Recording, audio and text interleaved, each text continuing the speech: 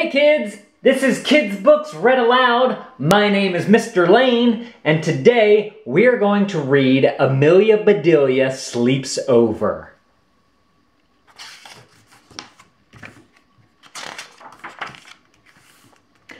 Amelia Bedelia was excited.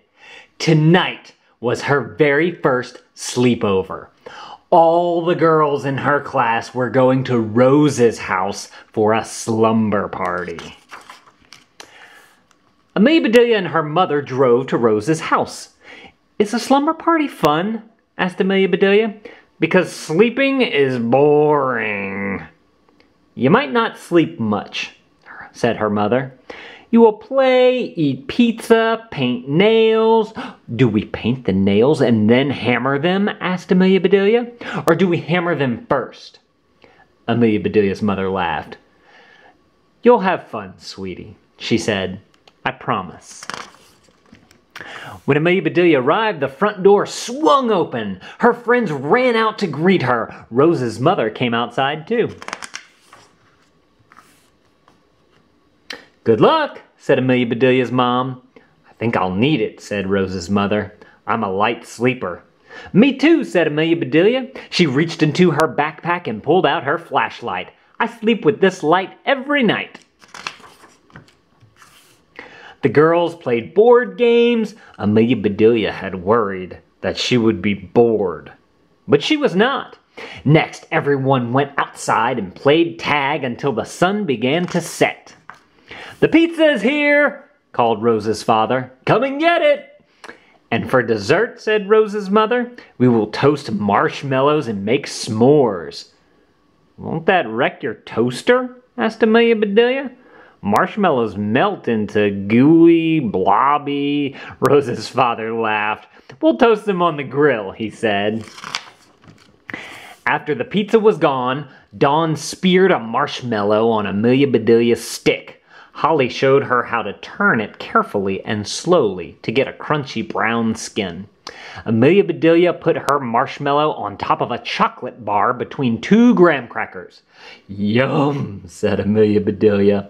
I'd like some more, please. Now you know why they're called s'mores, said Rose. After many more s'mores, the girls went inside the house. They put on their pajamas. But it was not time to slumber yet. Rose brought out bottles of glittery, glittery nail polish in more colors than the rainbow. Every color had the perfect name. Heather painted Amelia Bedelia's nails with shamrock green on her left hand, blue iceberg on her right hand, and banana sunrise on her right foot. She saved her left foot for cotton candy cupcake.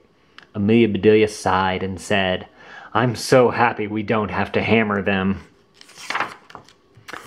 Too soon the clock struck ten. Bedtime, girls, said Rose's mother. Lights out and no giggling allowed. Oh well, thought Amelia Bedelia. Here comes the slumber part of the slumber party. Off went the lights and lamps, on went Amelia Bedelia's flashlight. She showed her friends how to make shadow puppets on the wall. One by one, the girls fell asleep, all except Amelia Bedelia. She was not one bit sleepy. She made a rabbit, then a barking dog, then an elephant with a trunk to grab. Whoops! Her flashlight went out. Oh no, said Amelia Bedelia. What light would keep her company now? Then Amelia Bedelia noticed a very bright light peeking into the family room. She pulled back the curtains. A full moon shone down on her. Now there was too much light. Amelia Bedelia dragged her sleeping bag under Rose's ping pong table. Perfect, thought Amelia Bedelia. Now I'm having a sleep over and a sleep under. Amelia Bedelia snuggled down into her cozy sleeping bag. She gazed up at the moon. She had heard people say that there was a man in the moon. She'd never seen him until tonight. He looked just like her dad. Amelia Bedelia closed her eyes. A second later, she was sound asleep. The next morning, the girls had a pillow fight. Then they made chocolate chip pancakes and helped clean up the mess. Amelia Bedelia's dad picked her up. Nice nails, said her father. Thanks, Moon Man, said Amelia Bedelia. Huh? said her father. You sound like you need to take a nap. And so Amelia Bedelia did, all the way home. The end. Hey kids, if you want more kids' books read aloud, click subscribe. There's a link in the description if you want to buy this book so that you can read it anytime. Also, kids, let me know what book I should read next in the comments below. Thank you so much for watching. It was great reading with you today.